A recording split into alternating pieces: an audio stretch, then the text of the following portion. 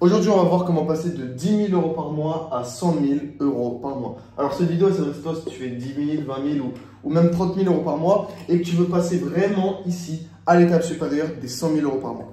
En réalité, même si tu fais moins de 10 000, je t'invite quand même à regarder cette vidéo parce que c'est des principes qu'il faut que tu gardes en tête et une fois que tu seras confronté à cette situation, tu sauras exactement comment faire. Beaucoup de gens stagnent au 10, 20, 30, alors qu'en vrai, c'est juste pas les mêmes process pour passer de 0 à 30 que de 30 à 100. Et aujourd'hui, vous partager toutes les étapes, vraiment clé en main, ce qu'il faut faire pour passer à 100 000 euros de bénéfices par mois. 100 000 euros par mois, qu'est-ce que c'est? C'est 3 300 euros de bénéfices par jour. C'est 1 200 000 euros par an. Et c'est vraiment là, pour moi, selon, euh, tu commences à vraiment devenir riche à partir de 100 000 euros par mois. Avant de commencer cette vidéo, j'ai une annonce à vous faire. Aujourd'hui, on est le 22 avril et jusqu'au 29 avril, vous pouvez prendre une heure de consulting avec moi. C'est le premier lien en description. Euh, c'est garanti satisfait ou remboursé pendant 14 jours. Et euh, c'est une offre qui durera seulement une semaine. Euh, c'est peut-être, je pense, le meilleur investissement que tu puisses faire pour scaler ton business. Donc, n'hésite pas à prendre un appel avec moi. Ça dure seulement une semaine. Après, on ne prend plus aucun call. Et c'est une heure euh, et puis après, tu appliques ce que je te dis tu scales ton business vraiment à l'étape supérieure. Si tu veux un coaching personnalisé pour vraiment passer à l'étape supérieure, c'est le premier lien en description et le premier lien en commentaire dans lequel ça se passe. Alors, commençons sans plus tarder. Je t'invite aussi à rester jusqu'à la fin de cette vidéo parce que je te partagerai 5 livres ou 4 livres, je ne sais plus, dans lesquels euh, tu peux vraiment prendre, boire à la connaissance et euh, passer encore une fois à l'étape supérieure dans ton business, vraiment t'immerger le cerveau dans passer l'étape supérieure. Bref, commençons sans plus tarder. Donc on va commencer par la trinité du levier, parce que pour scaler, il faut leverage en anglais, il faut euh, faire un effet de levier. Euh, si, tu devais, si tu vas toujours démarcher tes clients à la main, ça sert à rien. Donc on a trois formes de levier et on va se baser sur ça. On a le capital, donc les euros, les capitales. On a le travail, donc recruter des gens. Et on a les produits. Je vais tout expliquer au fur et à mesure. Ok. Et il faut trouver un équilibre entre cette trinité. Hop. Il faut trouver vraiment, c'est les trois choses que tu peux prendre en effet de levier. Tu peux dépenser de l'argent pour gagner plus d'argent. Tu peux recruter des gens qui vont t'apporter plus d'argent. Tu peux produire, c'est un peu plus compliqué que ça. Tu peux, faire de nouveaux produits, améliorer tes produits, euh, créer une nouvelle. On, on en verra sous forme de, on en verra dans la troisième partie, la partie produit. Donc ça, c'est vraiment la trinité du scaling. Vraiment. Tu peux pas scaler si tu dépenses pas plus de capital, que tu recrutes pas ou que tu ne crées pas ou n'améliores pas tes produits. C'est la base. C'est pour prendre un effet de levier de n'importe quoi. C'est vraiment la sainte trinité. Et je t'invite vraiment à prendre un papier. Là, on est entre personnes euh, qui gagnent de l'argent. Donc, euh, on est sérieux deux minutes. Prends un papier ou prends des notes ou un Google Doc. Écoute vraiment ce que je vais te dire parce que ça va en fait, tu, vas gagner 90 000 euros par mois après avoir regardé cette vidéo-là. Ça va pas être instantané, il va y avoir du travail pour la mettre en place, ce que je vais te dire, mais il faut absolument comprendre ça. Ok. De toute façon, capital, travail, produit, c'est la sainte trinité. Alors du coup, j'ai découpé cette vidéo sous du coup ces trois formes-là. On va commencer par le capital. Le capital, tu te dis que tu n'as pas beaucoup d'argent quand tu fais genre 20-30 000 euros par mois, parce qu'en général, tu as moins de 100, 150 000 euros dans ton compte en banque, mais franchement, il y a de quoi faire. Donc, chapitre 1, son capital. Ça, c'est un truc dont j'ai déjà parlé, c'est la méthode 60, 30, 10. Déjà, ce qu'il faut comprendre, c'est que, félicitations, déjà, peu importe où, si tu fais entre 10 et 30 000 euros par mois, peu importe où tu en es, félicitations, parce que tu as une bonne offre et une bonne acquisition de trafic. Là, c'est où ce que tu en es. Tu gagnes de l'argent, elle est validée par le marché, tu as compris un truc, tu as compris une problématique que les gens veulent, que les gens ont, et tu veux la résoudre. Tu la résous actuellement. Maintenant, ton gros problème, c'est ton offre, elle est good, et il te faut plus de clients. Alors, tu pourrais continuer à faire la stratégie que tu as actuellement, euh, tu rajoutes 5, genre tu passes de 10 000 à 15 000, puis de 15 000 à 20 000, puis de 20 000 à 25 mais c'est long, tu vois, ça avance lentement. Nous, ce qu'on veut vraiment, c'est en 3 mois, bam, passer à 100 000. Et c'est totalement possible. C'est ce que j'ai fait. J'ai stagné pendant 3-4 mois à 20-30 000 et j'ai fait un mois à 120 direct, 116 exactement. Donc après, je suis plus redescendu en dessous descends. Directement, fusée. Et c'est ce que je vais faire pour vous. Enfin, c'est ce que vous allez devoir faire pour vous en suivant exactement ce que je vais vous dire. Donc, capital 60-30-10. Ça, ça va être la répartition de ton capital. Je m'explique. Donc, euh, on va dire que tu vas t'allouer un budget. Imagine, tu as 100K dans un compte. Tu as 100K dans un compte Tu vas diviser ça par 2, donc 50K. Et sur ces 50K, tu vas faire du coup 60-30-10. Ok? 60% de ton capital, donc, il va aller dans ce qui marche actuellement déjà. C'est, imaginons ton acquisition de trafic, tu l'as fait sur, je sais pas moi, on va dire Twitter, Twitter ou LinkedIn, hop, tu continues 60% de ton capital, c'est pour faire plus de Twitter. Vraiment, là on parle juste d'acquis de trafic parce que euh, c'est là-dedans dans lequel on dépense vraiment du capital. Genre pour euh, dépenser 40 000 euros en marketing ou en produit, lever tôt. Donc 60% de tes 50%, donc 30%, euh, toi, doit être dépensé dans ton acquis trafic initial. Donc dans ce qui marche. Ok. 60%, c'est tu continues à faire ce que tu es en train de faire. Si ce qui marche pour toi, c'est faire des TikTok, par 60% de ton argent, c'est pour faire plus de TikTok, c'est pour améliorer ton micro, c'est pour euh, faire des meilleurs TikTok, prendre des mecs qui font des scripts. Si c'est pour Twitter, c'est pour avoir des meilleurs ghostwriters, faire plus de tweets, comprendre l'algorithme, euh, payer un truc trop sous-côté, peut-être pas encore à votre niveau, mais à partir de 100 000 euros par mois, payer des mecs pour faire des études de marché. Cheater. On en reparlera euh, si je fais une vidéo passer de 100 000 à 500 000. Bref. Donc 60% de ton capital, c'est dans ce qui marche. En gros, bah, tu continues à faire ce que tu es en train de faire. Quoi. Maintenant, 30%, c'est dans un truc qui marche à peu près, dans lequel tes concurrents ils font déjà de l'argent. Si par exemple, toi, c'était Twitter, bah, souvent il y a LinkedIn qui va bien avec, enfin, du moins si tu vends en high ticket. Donc, 30% de ton capital doit être investi dans quelque chose, dans une acquisition de trafic, dans lequel tu n'as pas trop de résultats, mais qui est, très, qui est prometteuse. Dans le sens où, ok, c'est pas mal. Si tu es sur Twitter, tu as sur LinkedIn. Si tu es sur TikTok, bon, normalement, tu fais déjà Insta YouTube, mais tu peux faire des vidéos YouTube plus longues, ou tu peux, enfin, tu vois ce que je veux dire, ou tu peux avoir une nouvelle acquisition de trafic. Donc, 30% dans ce qui devrait marcher. Ok. Donc, en gros, là, tu sécurises ton cash flow. Là, tu multiplies par deux ton cash flow. Par exemple, si là, tu fais 10K par mois, et bah, juste avec Twitter, tu peux mettre 10K par mois avec, euh, dans LinkedIn, par exemple. Enfin, tu peux gagner 10K par mois avec LinkedIn. Parce que tu vas aller toucher une nouvelle clientèle qui n'est pas forcément sur euh, Twitter. Par exemple, je te donne l'exemple des réseaux sociaux, mais ça peut être plein d'autres choses. Maintenant, les 10% de ton capital, donc là on a déjà 90%, c'est dans explosion. Il faut un aspect explosif. Pourquoi? Parce que l'explosif, c'est qui tout double. C'est soit ça prend et tu te mets trop bien, soit ça prend pas et c'est la, c'est la merde. C'est pour ça qu'on met que 10% de son capital. Explosif, ça peut être par exemple ads. La ads, c'est explosif. Tu mets 1 euro en pub, tu ressors 3, bah, tu mets 33 000, tu ressors 100 000, tu vois. Donc la ads, il y a les TikTok. TikTok, c'est explosif. Ouais, c'est TikTok ça. TikTok, c'est explosif. Euh, tout ce qui peut vraiment péter ton business. Ça peut être, par exemple, si euh, tu fais de l'acquisition organique, ça peut être 10% euh, de ton capital pour payer des setters et bam, bam, envoyer des DM à des influenceurs avec ton compte en, bam, à gogo, à gogo, pour faire, je sais pas moi, des vidéos avec eux, du podcast avec eux, et faire bam, exploser ton business avec euh, les collaborations que tu as faites à nouveau.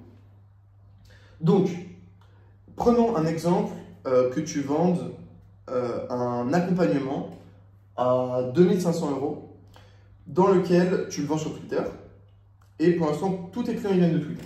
Ok? Qu'est-ce que tu fais? Eh bien tu mets 60% de ton capital pour euh, faire plus de Twitter. Donc en gros, euh, tu vas gagner plus d'argent avec Twitter quoi qu'il arrive, vu que tu investis du capital dedans. 30% de, ce de ton capital, tu vas l'investir dans LinkedIn. Parce que bah, des, des mecs qui sont intéressés par un coaching ou des mecs un, par un coaching à 2500 balles, il y en a aussi sur LinkedIn. Il y en a peut-être moins sur TikTok, etc. Mais voilà. Maintenant, les 10%, là, dans ta situation, c'est faire de la ad c'est euh, tester la ad. Ça marche, ça marche pas, euh, tant pis, on a mis pas beaucoup d'argent dedans de toute façon. Donc, soit ça marche et tu te mets trop bien, soit ça marche pas et c'est la merde. Donc ça, c'est la répartition de son capital, 60% dans ce qui marche, 30% dans ce qui a de grandes chances de marcher, ce qui marche pour tes concurrents, et 10% dans le truc le plus explosif possible. Maintenant, on va passer à la deuxième étape de la trinité. Le travail, tu as bien remarqué que toi, tu ne peux pas travailler plus que 24 heures par jour. Si toi, tu travailles, si une personne travaille 24 heures, et eh ben ça fait 24 heures. Maintenant, si deux personnes travaillent 24 heures, bon, on se comprend, on ne peut pas travailler 24 heures, mais voilà, ça fait 48 heures. Maintenant, si 10 personnes, bon, 10 fois 24, bon, c'est un, un 2, ça, égale 240, donc là, tu travailles 200, enfin, ton équipe, elle travaille 240 heures. Ok, qu'est-ce que ça dit? Ça dit que si on en retire une, à savoir toi, donc 9 fois 24 est égal à 216 heures. Donc entre 216 et 240, euh, c'est quasiment la même chose. Oui, bon, c'est dégueulasse, je sais pas écrire. Enfin, je sais pas écrire comme ça, mais peu importe. Donc tu travailles 216 heures versus 240 heures avec ou sans toi. Donc, on se rend compte que c'est vraiment pas grand chose parce que toi, ton, ton taf en tant que CEO, je rappelle, CEO, c'est Chief Executive Officer. Ça veut dire quoi? Ça veut dire que bah, tu es le chef de l'exécution. Tu fais pas d'exécution. Normalement, en tant que founder, tu fais pas d'exécution. C'est pas Elon Musk qui va aller développer Twitter. Non. Au début, peut-être, quand tu es à moins de 10 000, ouais, tu fais tout à la main. Mais à partir de 10 20 000, non. Tu es CEO. Tu dois être chef d'orchestre. Et sachant que tu connais déjà tous les process, ça nous emmène donc à ce que je vais t'expliquer ici. C'est processiser. C'est être le McDonald's euh, du business en ligne. Comment faire un putain de process? Ça, ça va être la grande question. Donc, pour faire un process, tu auras besoin de Notion. En général, c'est mieux Notion. On peut faire aussi sur Google Docs, mais Notion, c'est bien. Et tu fais putain de tout étape par étape. Genre vraiment, step by step. Tu fais toutes les étapes. Tu fais par exemple, clic droit. Euh, enfin, tu fais, imagine, euh, je sais pas, tu, fais un process pour un monteur. Tu lui dis, euh, quand un rush envoyé, quand je t'envoie les rushs, donc tu mets petit 1, lorsque je t'envoie les rushs, me dire deadline, enfin me dire quand est-ce que tu quand est-ce que tu finis. Imagine que tu fais une vidéo YouTube et t'envoies des rushs à ton monteur. Donc tu fais quand je t'envoie les rushs, tu me donnes la deadline. Ok. Deux, tu ouvres le, le drive. Ok. Trois, tu importes dans euh, Adobe Premiere Pro. Ok. Et tu fais vraiment ça comme un putain de débile. Tu fais chacune des putains d'étapes. 4, des rushs. 5, je sais pas si on voit, non, on voit pas. 5, sous-titres à l'intro, etc. Et tu fais toutes les putains d'étapes, étape par étape. Et, tu, et là, normalement, tu es censé connaître chacune des étapes parce que quand tu étais de 0 à 10, tu les faisais toi-même à la main. Donc tu sais exactement comment faire. Et tu les détailles exactement. Une fois que tu as fait ce process-là, une fois que tu as montré vraiment étape par étape comment faire, tu vas aller imager tout ça, soit avec des screens, euh, par exemple, euh, ici on avait dit, tu dis, tu réponds dans le Slack par exemple euh, la deadline, tu dis, tu fais une template de message, tu dis, image, en dessous tu mets reçu deadline XYZ. Tu images tout ça. Ensuite, une fois que c'est ça, il faut vraiment que le mec n'ait pas réfléchir. Il ouvre le doc, il fait exactement la même chose. Une fois que tu fais ça, à la fin de ton process, tu fais un loom. Tu fais un loom, ok. Et dans le loom, euh, dans le loom, tu fais exactement ce qu'il doit faire. Comme ça, il ne peut pas se tromper. Et s'il se trompe, il est viré. Et tu le fais savoir dès le début. Donc ça, c'est comment faire un process. C'est euh, vraiment étape par étape, comme McDo. Laissez le steak 1 euh, minute 27 tu, lances le chrono au d'une minute 27 et tu retournes. Sur l'autre côté, laissez 1 minute 18. Sur l'autre, et voilà, tu fais vraiment. Il faut vraiment que le mec, même s'il est 80 QI, il puisse réussir. Pourquoi? Parce que c'est toi qui le fais mieux, c'est ton business. Lui, il est payé que, ça marche ou que ça marche pas, il est payé que pareil. Donc c'est hyper important que tu processises super bien. Ok? Ça prend du temps, ça prend de l'énergie mentale, les process. Euh, je pourrais vous en partager euh, la limite. Mais euh, c'est vraiment en gros, faut que le mec il n'ait pas à réfléchir et que vraiment il y ait chacune des étapes. Moi, dans certains de mes process, je mets étape 1, ouvrir le Google Drive. Étape 2, euh, ouvrir le dossier XYZ dans le Google Drive. C'est vraiment chacune des étapes mâchées pour lui. Donc en fait, tu fais le job une seule fois. Et peu importe s'il y a quelqu'un après, lui, imagine, tu, tu recrutes un humain X, et bah l'humain X il fait mal le taf, ce qui est très rare quand même, et bah si tu as un humain Y, bah t'as pas besoin de lui remonter euh, tes process en interne vu que tu les as déjà fait. Si après lui se barre, tu as besoin d'un humain Z, etc. Bon, t'as capté, tu, une, tu le fais une dernière fois, euh, une bonne fois pour toutes, et puis après c'est bon. Première étape, créer les process. Automatiser les process en interne. Ok? Donc ça c'est étape 1 du travail. Maintenant donc, l'étape 2, une fois qu'on a tout automatisé, on a tous les process, c'est pas spécialement évident de recruter. Donc pour recruter, moi j'ai fait une vidéo déjà sur recruter, euh, je te la mettrai à la fin de la vidéo euh, en, fiche. Pour recruter, c'est très simple. Tu as, euh, deux options, tu as deux arguments. Les gens, qu'est-ce qu'ils veulent? Ils veulent gagner de l'argent. Donc moi, ce que j'ai toujours fait et ce qui cartonne, c'est que tu vas chez tes concurrents, tu envoies un message à tes concurrents, etc. Tu envoies quelqu'un de ton équipe pour faire semblant d'aller travailler chez tes concurrents.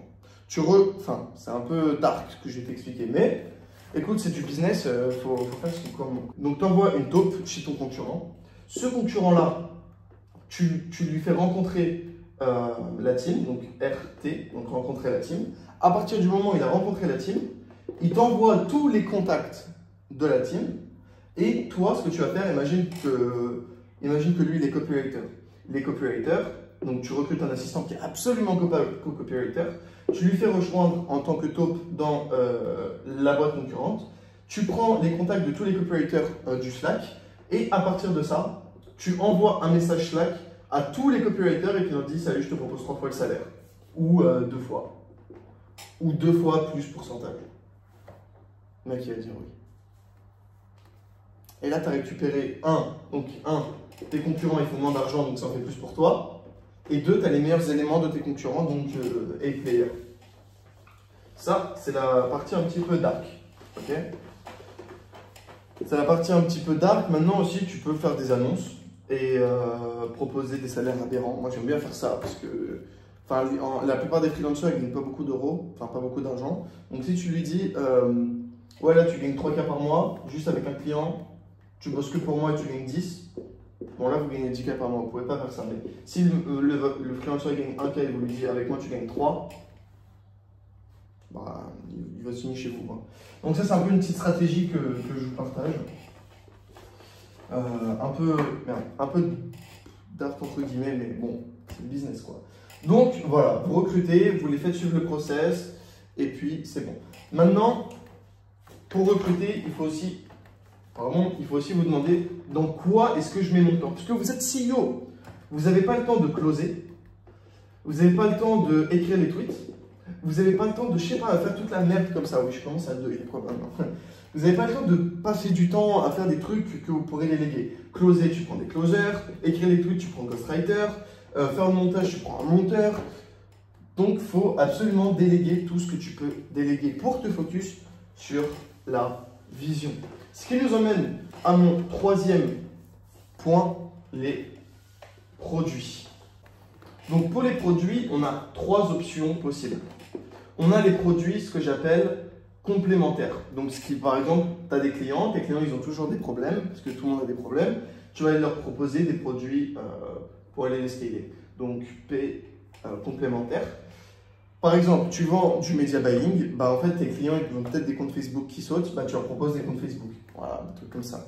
Ou euh, tu as une formation pour avoir, pour avoir des closers, bah, tu proposes à tes closers de les mettre sur des contrats. Comme ça, tu prends un pourcentage sur leur etc., etc.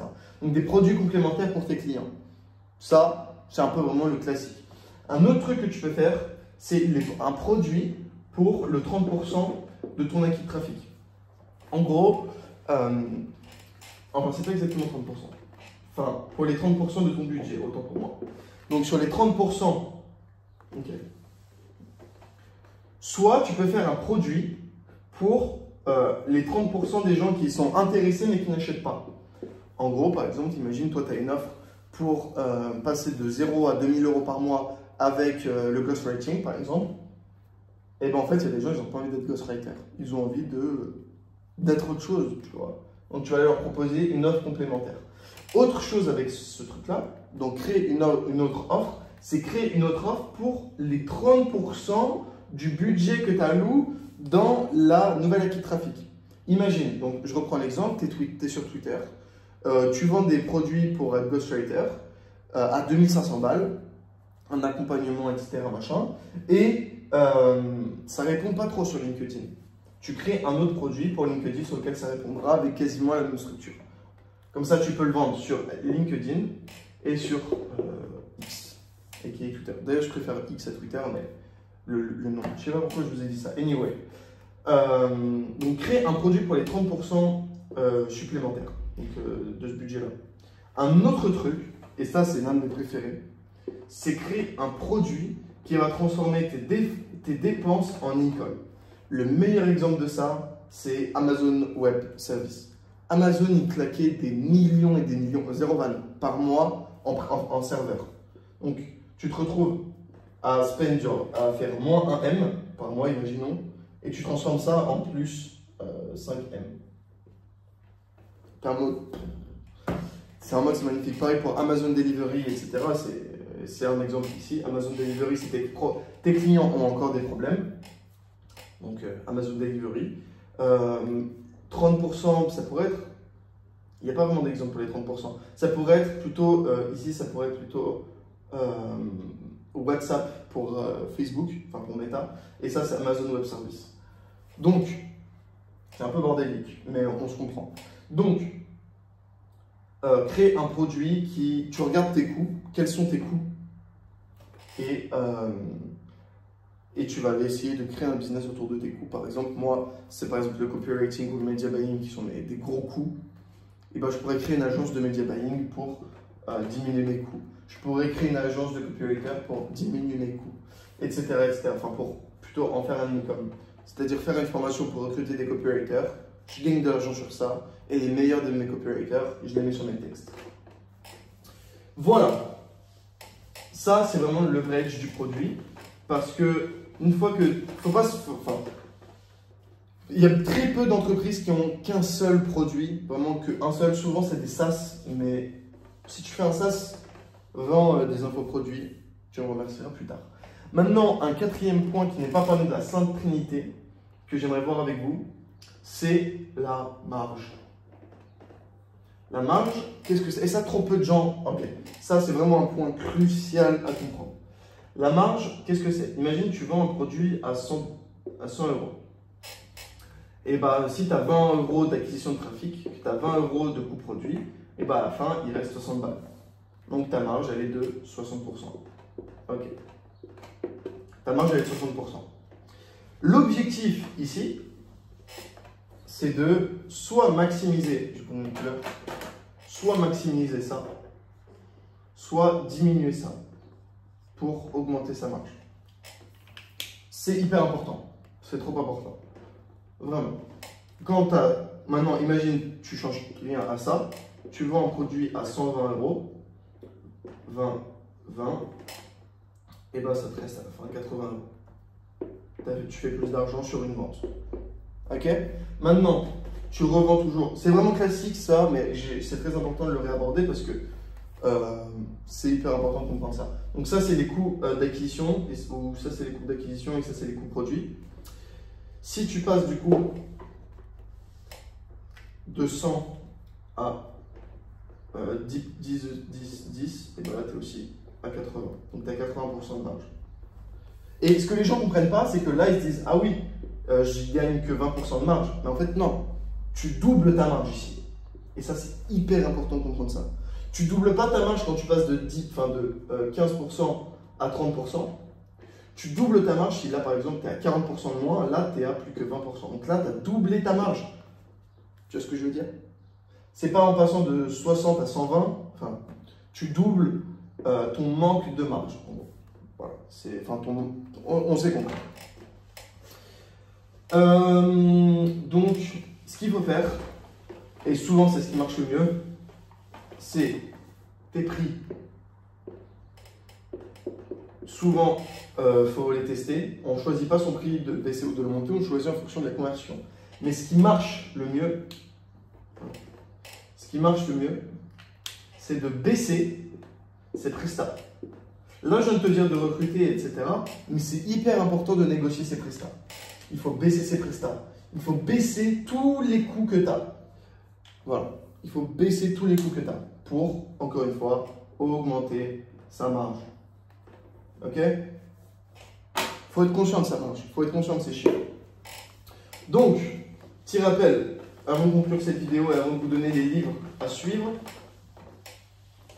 si vous suivez tout ce que je, vais, tout ce que je vous ai expliqué, et que j'espère que vous avez pris des notes, c'est inévitable que vous passiez à l'étape supérieure, euh, surtout avec le 60-30-10, c'est vraiment le truc le plus cheaté que j'ai mis en place.